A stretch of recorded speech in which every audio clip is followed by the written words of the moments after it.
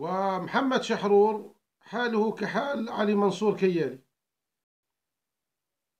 يفسر القرآن لا على أصول أهل السنة فيخرج بهذه الأباطيل. واقرأ عبر التاريخ الإسلامي. ستجد الكثيرين على هذا المنهج.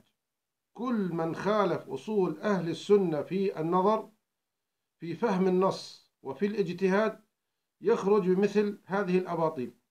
محمد شحرور له يعني منشورات معروفة. عندما قال عن الخمر فاجتنبوه لما قال تبارك وتعالى إنما الخمر والميسر والأنصاب والأزلام رجس فاجتنبوه قال هذا هذا ليس فيه دلالة على تحريم الخمر.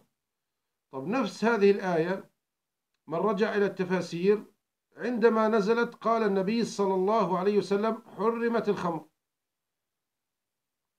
هل لو محمد شحرور رجع إلى التفاسير سيصل إلى هذه الأباطيل والضلالات؟